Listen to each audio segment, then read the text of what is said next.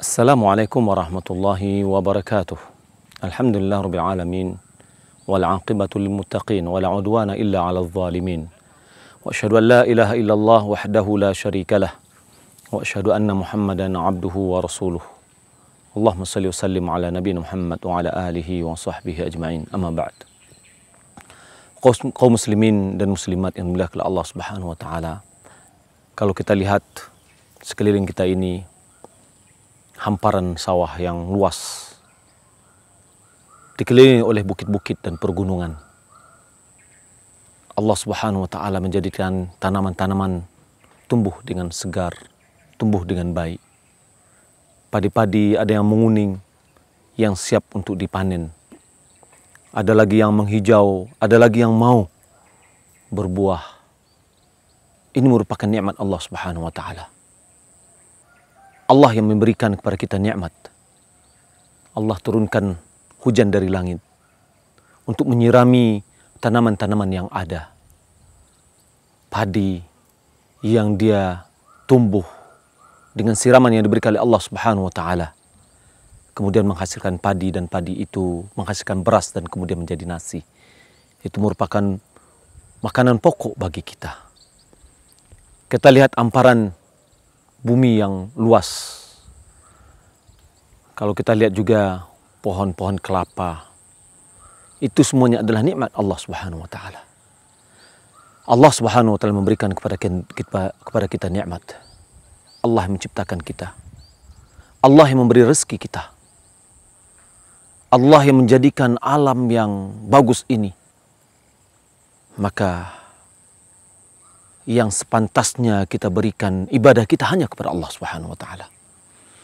Allah Subhanahu wa taala berfirman, "Hai manusia, ibadatilah Rabbmu yang telah menciptakanmu dan menciptakan orang-orang sebelummu la'allakum tattaqun agar kamu bertakwa." Bertakwa agar kamu takut kepada Allah, agar kamu beribadah kepada Allah, melaksanakan ketaatan kepada Allah di atas cahaya dari Allah Subhanahu wa taala mengharapkan pahala dari Allah Subhanahu wa taala dan menjauhi maksiat di atas cahaya dari Allah Subhanahu wa taala takut akan akan azab Allah. Itu takwa.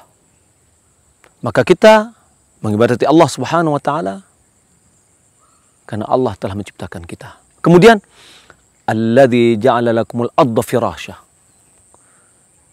Yang mana Allah telah menjadikan bagimu bumi ini terbentang. Kita lihat, terbentang.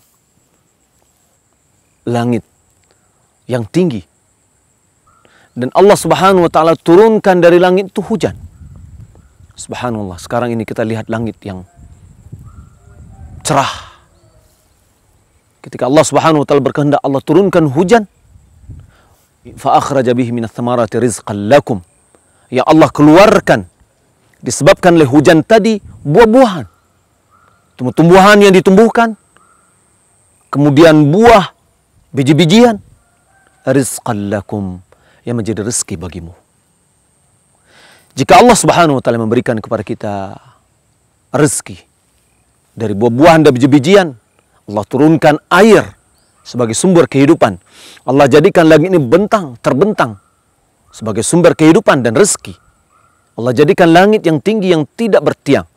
Allah jadikan gunung-gunung sebagai pasak dari dari bumi ini itu merupakan nikmat Allah Subhanahu wa taala.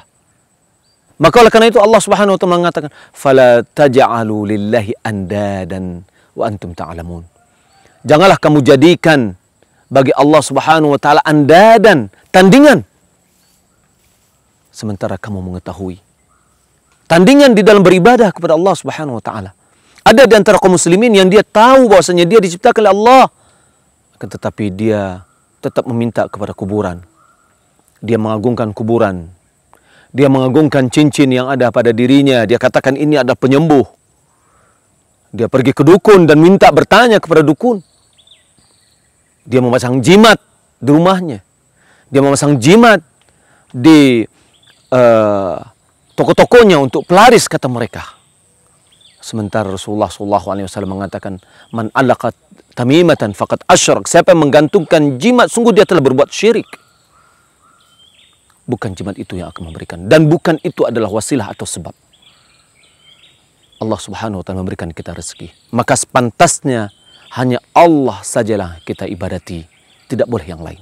Kita meminta kepada Allah, kita berdoa kepada Allah karena Allah menciptakan kita, karena Allah yang memberi rezeki kita, karena Allah yang menjaga kita. Kita diciptakan oleh Allah Subhanahu wa taala dari tidak ada menjadi ada. Allah munculkan kita di dunia dan dunia ini adalah tempat kita untuk beribadah.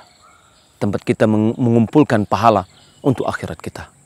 Maka oleh karena itu, kita tidak boleh menyelewengkan ibadah kepada selain Allah Subhanahu wa taala. Rezeki kita hendaklah kita berikan sebagian dari rezeki kita sebagai sedekah kepada Allah Subhanahu wa taala. Hanya untuk Allah Subhanahu wa taala, bukan ingin dipuji. Kesehatan yang Allah berikan kepada kita hendaklah kita gunakan untuk mencari pahala dari Allah Subhanahu wa taala. Kaum muslimin dan muslimat yang muliakan Allah Subhanahu wa taala. Kita sebagai orang tua dari anak-anak yang ketika setiap permintaan anak kita kita berikan, uang belanja kita kasih, uang sekolah kita kasih. Dia membutuhkan apa kita berikan. Setelah dia dewasa, setelah dia sukses dalam pendidikannya, lalu dia berbuat baik kepada orang lain dia tidak mau berbuat baik kepada orang tua yang memberinya setiap saat kebutuhannya. Apakah itu logis? Tentu kita katakan tidak logis sekali. Orang yang telah memeliharanya, orang yang telah memberinya kebutuhannya, lalu setelah dia selesai, sukses, lalu dia tidak sedikit menghargai, ini itu tidak selogis sekali. Maka orang yang mengibadati selain Allah adalah orang yang tidak logis. Karena Allah yang memberinya rezeki, Allah memberikan kehidupan, setiap saat kita tidak lepas dari nikmat Allah Subhanahu wa taala. Oksigen yang kita hirup. Siapa yang memberikan? Adalah Allah Subhanahu wa taala.